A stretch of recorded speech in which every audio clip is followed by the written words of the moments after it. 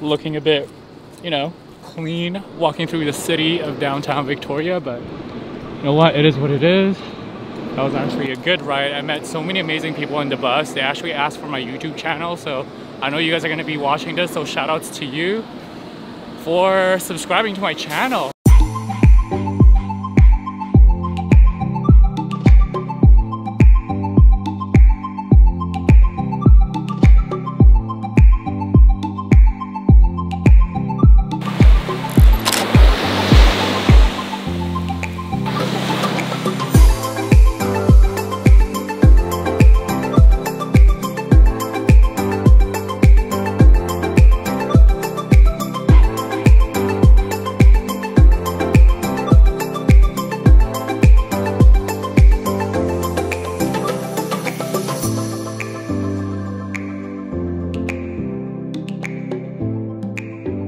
Day three of Juan de Fuca and today we're going to be going to Sombrio.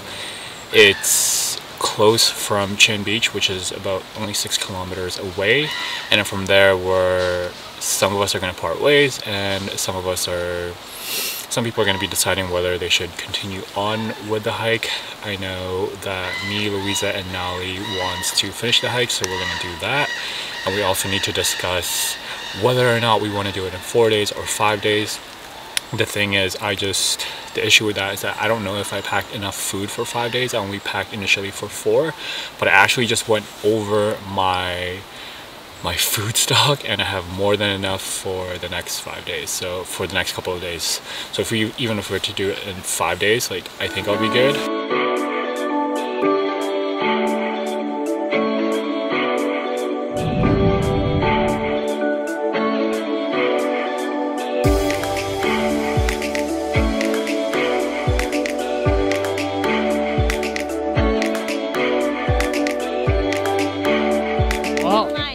soon as I took out my camera, I was hoping for a, a little vlog conflict, you know? Some drama. Some drama.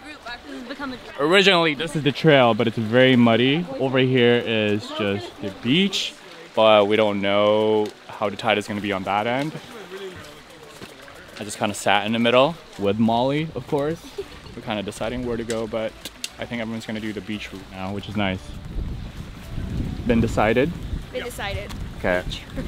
Beach it is. Nice. So, out, the dude just saved us. He's like, there's no way you can walk along the water. So we were right. Let's do a little high five here, Alex. We were right. We just Nobody had faith in us. Even Molly. How dare you, Molly?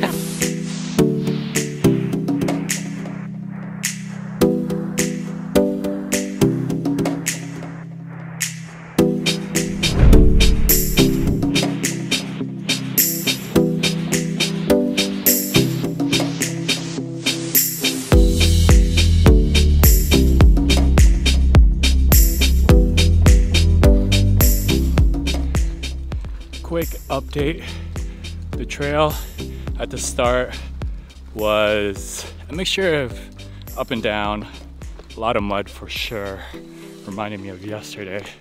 But we, or I came across a couple of people that were heading the opposite direction. They were saying after that, it's just gonna be fairly flat, pretty much on.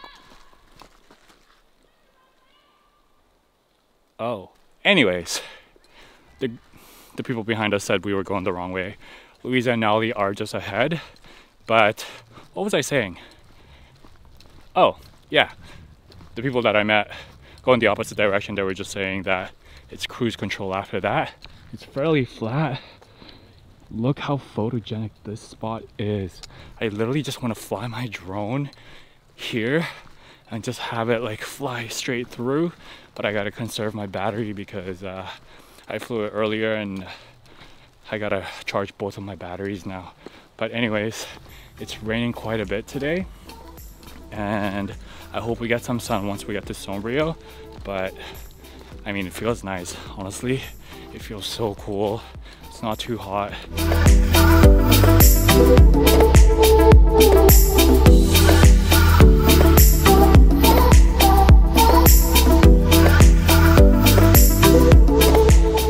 Think we're on the last leg to Sombrio because I can see the beach over on that area and there's also a bunch of tents.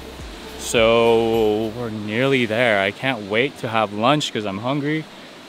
Weather is not, it's not beach weather.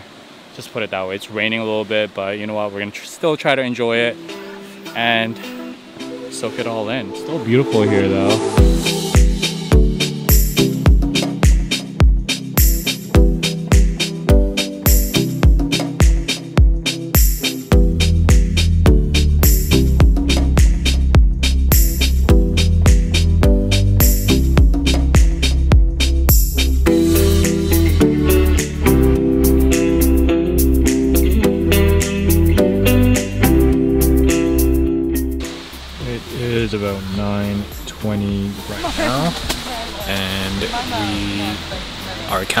Here for the night at Sombrio but I'm gonna head to bed early because it's gonna be an early one for me tomorrow. I'm gonna be hiking from Sombrio to, well, pretty much towards the end.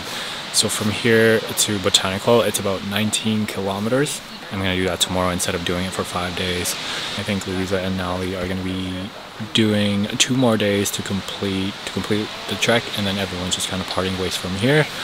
I'm gonna hit the bed. I think I'm just gonna combine the two vlogs together because I don't think there's much content from today just because it was a fairly short hike. So I'm gonna combine day three and day four. So yeah, because otherwise I, it won't be enough for just one video. And um, let's just fast forward to the next day and I'll see you guys tomorrow.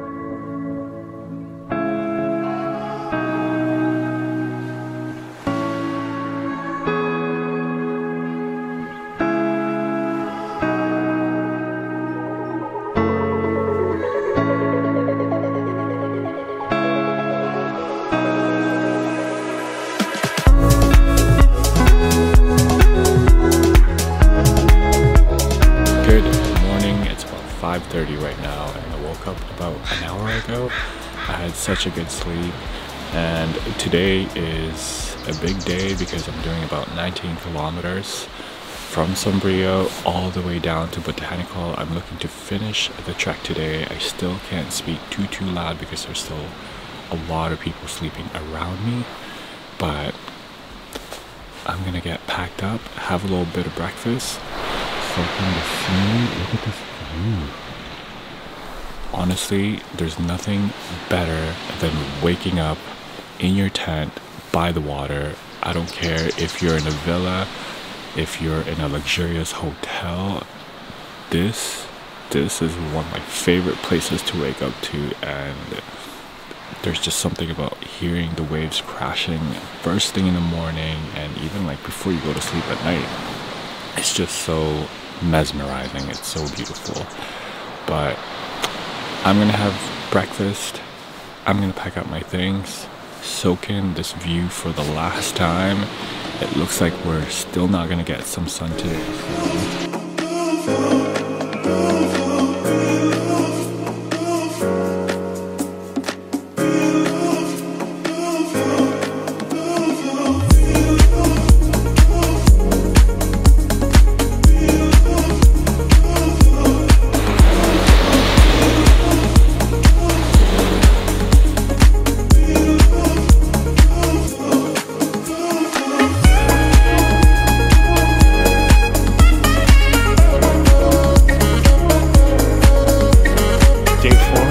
Juan de Fuca.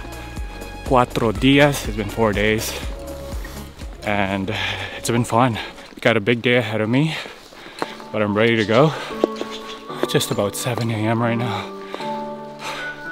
And uh, we got hills for breakfast.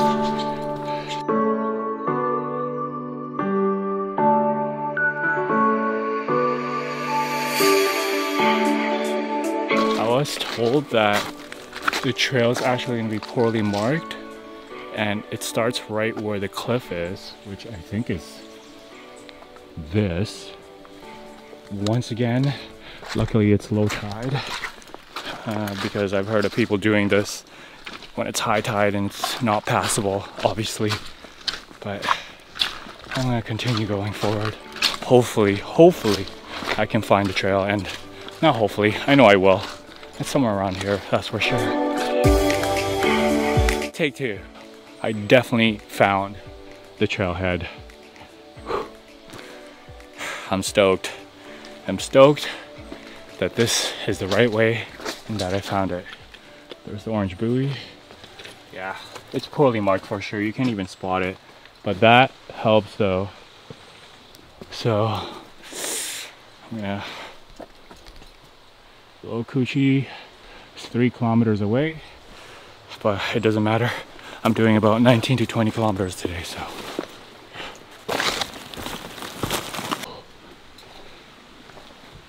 Another bridge. apparently this is called the Minute Creek. Juan de Juan de what? Oh. Well, Juan de Fuca. We're gonna get there. Tess. Oh, shoutouts to Tess. She knows what's up. We're definitely gonna get there after we pass another bridge over this creek. The first leg of the trail, hilly and then flat and then mud. I think I have, I'm at the 32 kilometer mark, I believe. At least approaching it. There's a, there's another orange marker. We'll see if it's a 32 mark or 33. I'm thinking 32, but let's see. Uh, yep, 32. Just taking a little break right now. I just passed Little Kuitche Creek campsite and it's about 9 a.m. right now. So I did about 5k because I started in East Sombrio, which is 28 and that's past the 33k mark so i'm doing about 5k per two hours which is not bad if i keep this pace up i should be a botanical in less than eight hours hopefully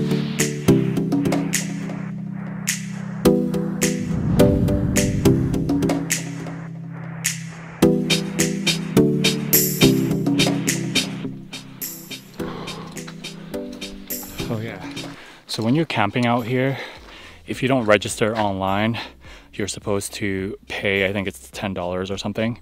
And then you're supposed to put the envelope here. And yeah, it's $10 per adult per night. And it's for anyone over 16. And if you're younger than that, then it's $5 per person but uh, yeah you're supposed to bring an envelope that's one thing. Or if you want you can just slip in the money here but it's better to bring an envelope. But uh, yeah right now this is Parkinson's Creek. It's the parking lot over there. And Payzant Creek is this way three kilometers. And I have to continue going this way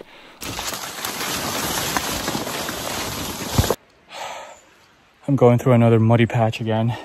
And because I don't have poles, I'm having to use my hands to just grab onto things. But one thing this trail has taught me is that if you see any puddles like this, that means it's really, really deep. Like I took a first step over there and I'm just like, nope, it's really deep. So I try to use the branches on the ground or if there's like footprints like that, that means that it's safe. So I'm just gonna try to balance myself right now. So that part is safe. Whereas the ones with water, I don't know if you guys can see the one with a little pool in them. Those ones are really deep. Looks like somebody left their last piece of gum here. This can't happen. It's gotta go in the bin.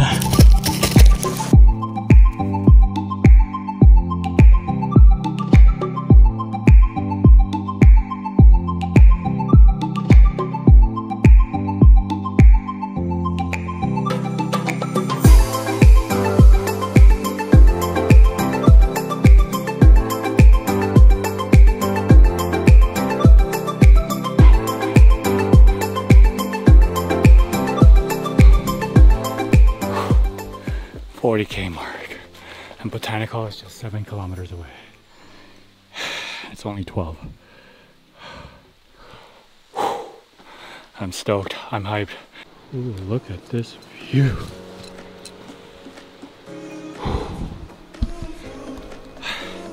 I'm gonna post up here, have some lunch because it just looks like an epic spot to have lunch, you know?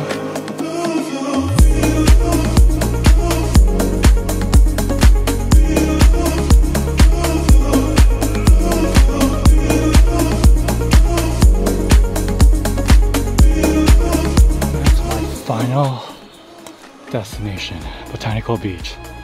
One kilometer away. So close. I can smell it. I can, I can also smell myself. So I can't wait to take a hot shower. Once I get to Bota- Botanical Beach, I'm gonna get picked up by Gabe. He's been nice enough to offer me a ride. Shout outs to Gabe. Thank you so much for picking me up at Botanical. The last 1K, man, and it is, I gotta check the time. Ooh. It's 2.04 p.m. Not bad. I might actually finish this in by 2.30, hopefully. So, overall, wait, let me finish. Let me finish the last kilometer first and the last leg of this hike before I give my conclusion into this hike.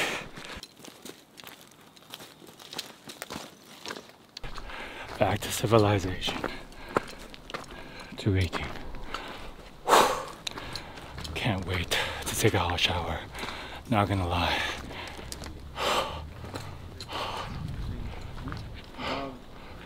I just met these guys here.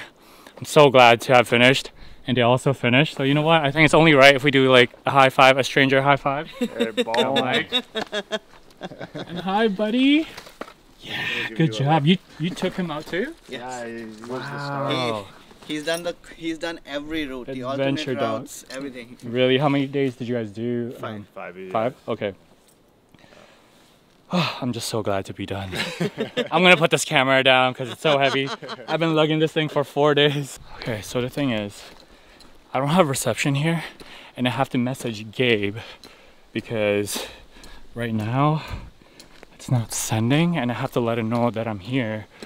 Alejandra said they were gonna be here around three or four, but obviously I'm here a bit early, so I'm hoping to catch a reception and hopefully they make their way here because otherwise I'm to be staying here for a couple of hours. I don't really want to do that.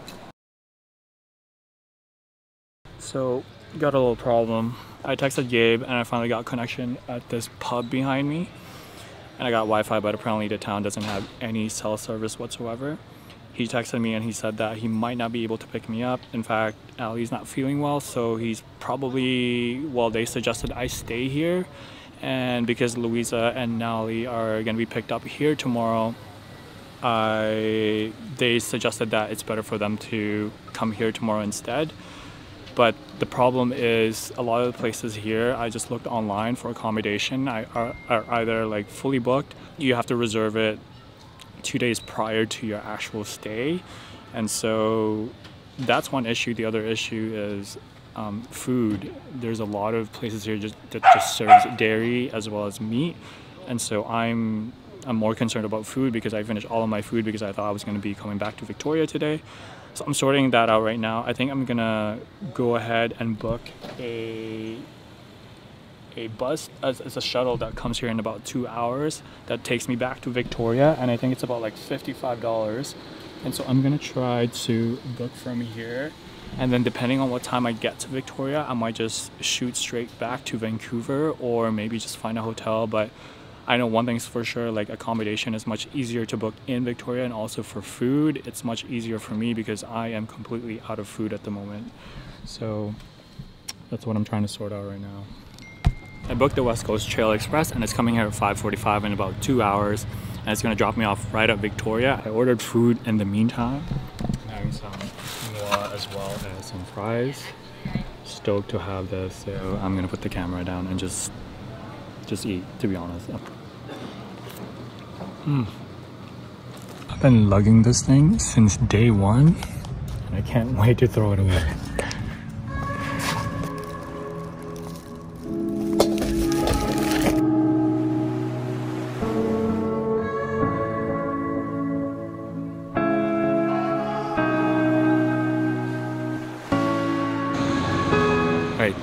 Hours later, I'm finally in Victoria. I have to take that shuttle over there that took me from Port Renfrew down here to Victoria. My hotel is actually just four minutes away.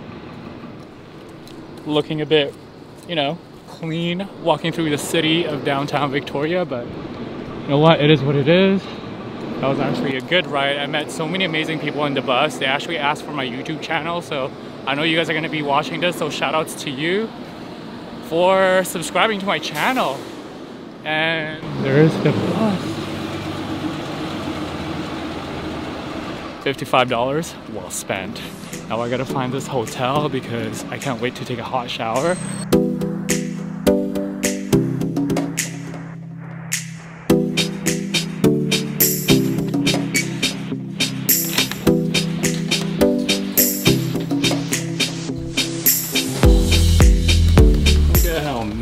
This kid is.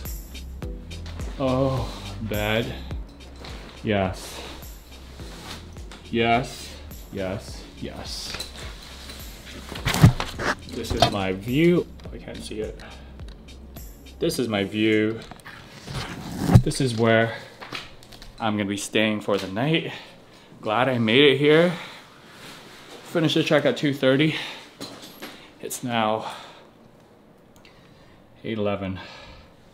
Quite a long ways to get here, but I met so many amazing people along the way, which is nice. That's what I love about solo adventures is that I don't know, you just meet random people. But there's a noodle box just across the street. I'm gonna get food because noodle box is one of my favorite places to eat. I'm gonna order to go because they close in about one hour. And uh, yeah, I'm gonna put my camera down. See you guys in a bit. Much needed food from Noodle Box. Right after Noodle Box though, right after dinner, I wanted to get some snacks because I just really wanted to relax today, watch TV in bed over here while having snacks. So I bought a bunch of snacks. Got the vegan ice cream, a must. Craving some sweets. Hardbite because you know, I don't know, Hardbite is just a play to be honest. And then I got some mango juice. I was gonna get kombucha, but I felt like drinking something sweet, so I, I got this instead. But I'm so excited. This is pretty much what I'm gonna be doing for the evening. These are my snacks. I'm gonna watch some TV. Hopefully there's something good on TV, and I'm just gonna chill out. But first, I'm gonna shower. I'm just gonna have a relaxing evening, so I'm gonna cut this vlog here. I hope you guys enjoyed this video and this whole entire series, this Juan de Fuca adventures, especially in the last day here. It's been, some of it has been last minute changes and I've kind of had to adapt. And I think that's the beauty of what traveling had taught me is that things don't always go as planned and you have to think on your feet and you can't really beat yourself up and say that, oh, damn, this didn't happen. It's always coming up with solutions and, and all that stuff. And I know Gabe and Alejandra were tired and that's completely fine. They didn't want to come get me from Victoria all the way to here because it takes about two hours. Luckily, I met people along the way and they told me how to get back to Victoria. I booked a hotel very, very last minute and everything worked out perfectly. That's the thing. Everything always works out for you, right? So, enough chit chatting. I gotta spoil myself for the evening and have a relaxing night overall, it was such an amazing hike. If you are here on the island, I highly suggest to add this as one of your hikes here and bring rain gear and bring pack light. Pack light. I did pack light, but because of my camera gear, everything was fairly heavy and overall, great hike nonetheless. I hope you guys enjoyed this video. Make sure you give it a big thumbs up. Subscribe to my channel. If you haven't done so yet, please, please, it would mean a lot to me if you subscribe to my channel and also hit that like button. I'll see you guys in the next video. Peace.